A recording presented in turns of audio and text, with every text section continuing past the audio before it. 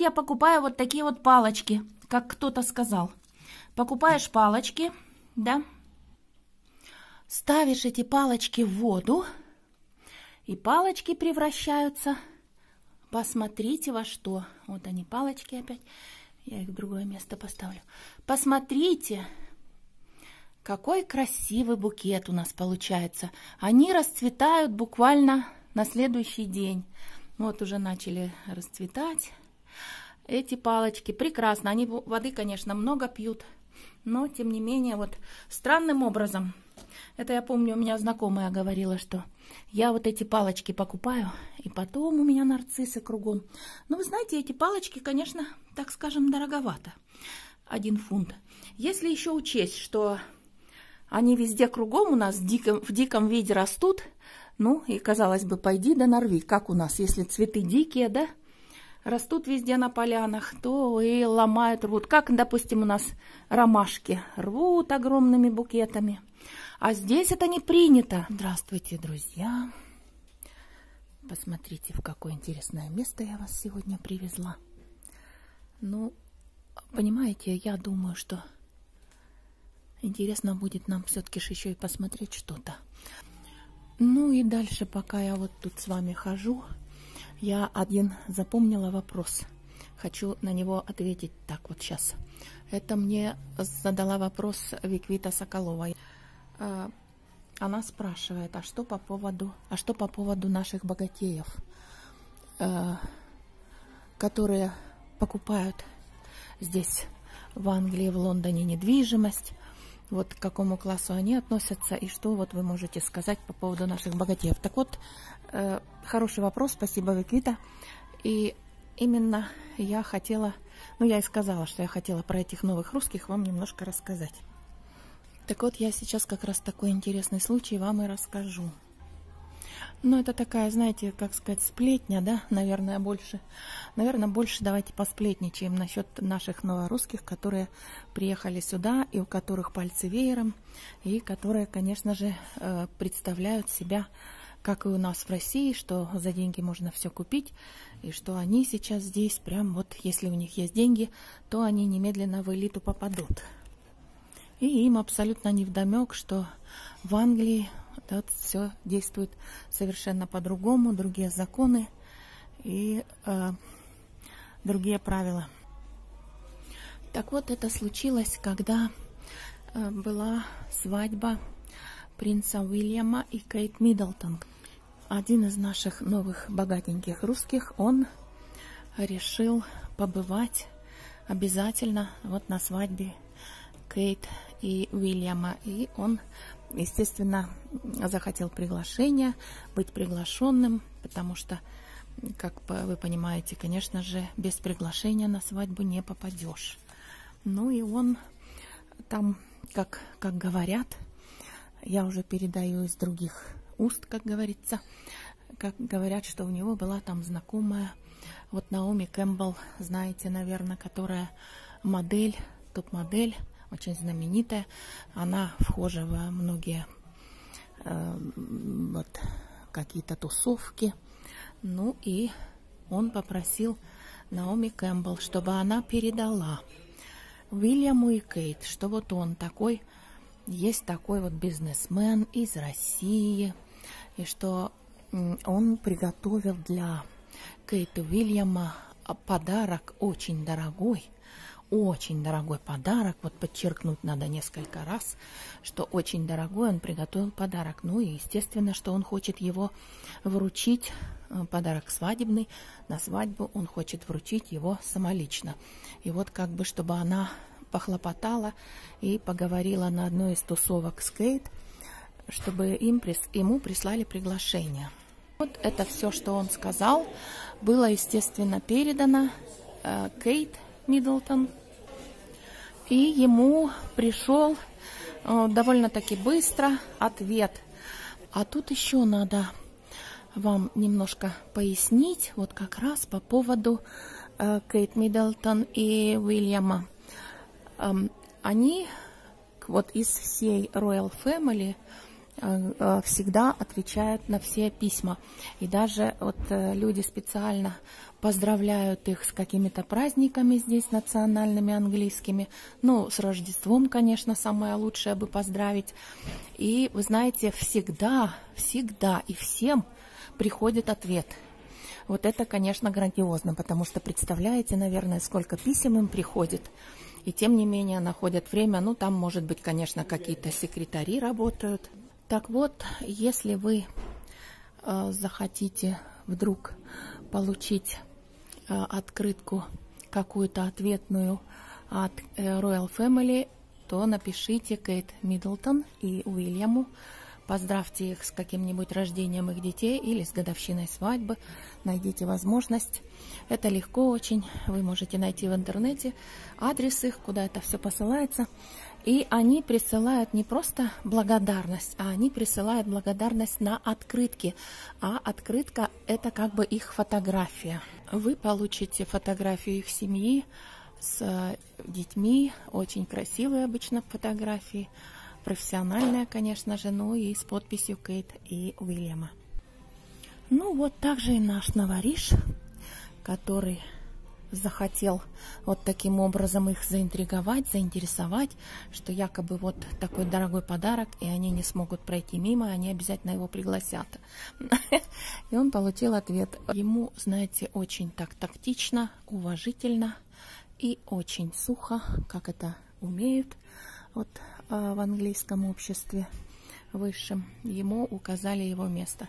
То есть они сказали большое спасибо вам, конечно, за ваш интерес, но вы свой подарок, наверное, лучше подарите своей жене или кому-то из своих родственников. Вот так.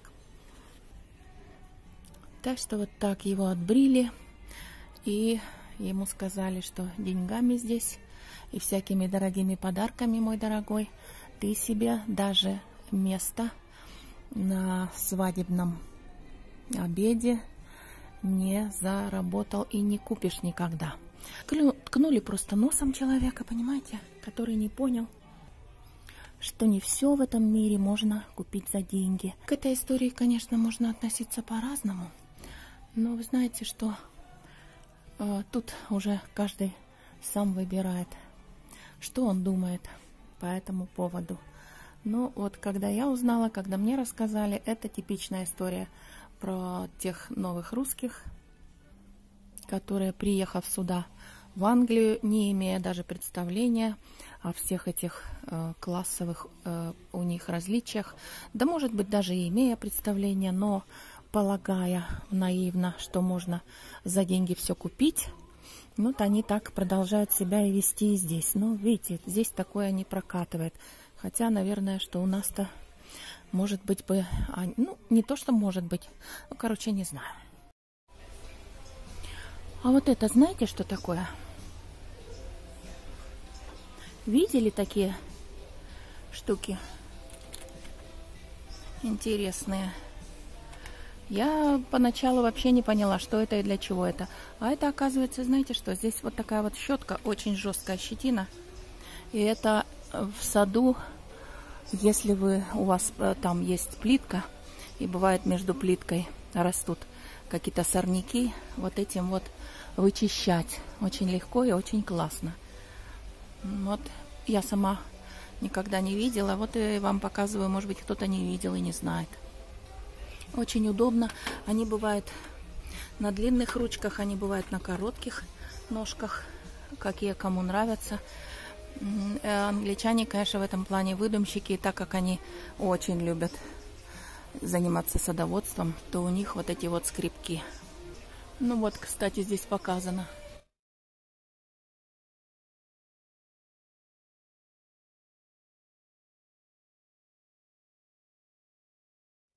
Показано, как это работает. На этом берегите себя. Удачи вам. Всего наилучшего. Пока-пока. Можно встретить вереск здесь у нас. И мне вспоминаются сразу красивейшие стихи. Срываю вереск, осень мертва. На земле ты должна понять, мы не встретимся больше. Шуршит трава, аромат увядания но встречи я буду ждать. Это Шарль Друзья, посмотрите, я специально вышла из машины, остановилась, чтобы вам показать. Вот там у нас четверо плавают в воде. Сегодня у нас 4 марта, по-моему, да? Посмотрите, плавают люди в воде. Вот такие вот есть отважные англичане.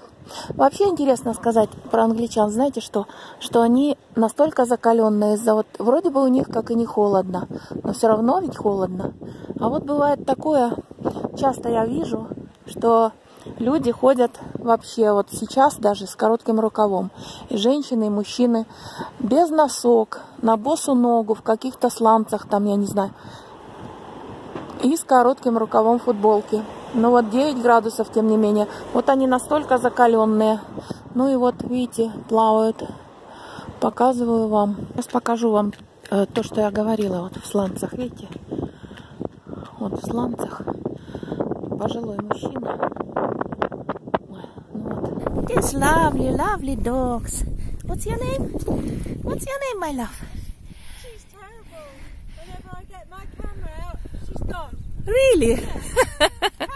no, she maybe don't understand. I take a camera for her. Ну вот, пожалуйста, вам. Смотрите, друзья. Два дня назад такая шикарная погода. Мы с вами гуляли. И что у нас сегодня? Сегодня у нас целый день льет дождь. Вот такая погодка. Чисто английская. Я почему показываю вам? Потому что я знаю, что многие говорят, ой, а нам так нравится именно вот такая погода в Англии. Нам нравится, когда дождь. Ну, не знаю вообще-то. Сегодня у нас плюс 10. Сегодня у нас 5 марта. И вот дождик со вчерашнего дня не прекращается. Ну, говорят, что может быть завтра а, дождик у нас закончится и будет хорошее солнце опять, потому что уже много-много раз замечала. Так вот, говорю, что у нас через день, через два погода, особенно вот именно в это время, весенняя погода, день солнца, на следующий день дождь. Уже не единожды не это каждый год такое происходит у нас. Поэтому, вот понимаете ли, о, как барабанит, слышно вам? Как барабанит по крыше. Ну вот еду я, конечно, друзья, опять домой. Дождь не прекращается. Заехала в магазин, купила молока. Вот. Не знаю. Да, вот знаете, что еще хочу вам сказать? А, слышали ли вы такое или нет, но вот хочу тоже с вами поделиться. Интересная такая информация у меня вдруг обнаружилась. На как встать с той ноги. Вы знаете, что вот говорят? Встал не с той ноги. Ну и я там, в общем-то, по простоте тоже думала, не имея информации, что не с той ноги, это значит встал с левой ноги. А тут оказывается ничего подобного. Тут оказывается все по-другому. С той ноги вставать или не с той ноги вставать, это нужно определять утром рано, когда вы только что проснулись, вы проверяете свой нос. Вот, вот поверите ли, как это все связано? Сейчас расскажу вам. Вы проверяете свой нос, ноздрю каждую, как дышит ваш нос.